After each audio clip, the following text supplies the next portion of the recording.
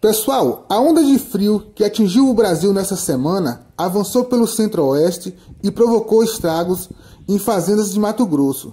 Segundo relatos de pecuaristas da cidade de Reserva do Cabaçal e Salto do Céu, no sudoeste do estado, o frio que fez na madrugada de sábado para domingo, dia 23 de agosto de 2020, vitimou diversos bovinos da raça Nelore.